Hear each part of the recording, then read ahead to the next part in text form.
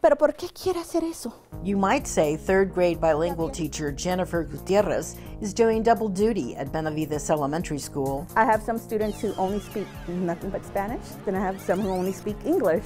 So I end up having to do two lessons of everything.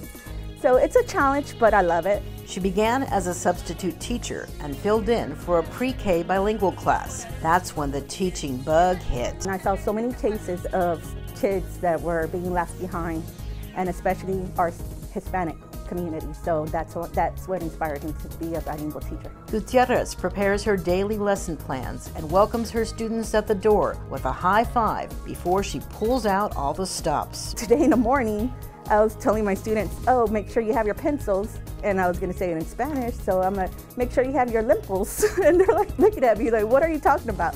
So I put lapices and pencils together and came up with a new word. Gutierrez says her peers and students inspire her every day. They have the willingness, they have that ganas that we call it in Spanish. It makes me want to help them. And she does. The spur of the moment, you have to think on your feet. You're always having to come up with something new and keep these students engaged. Congratulations, Jennifer Gutierrez.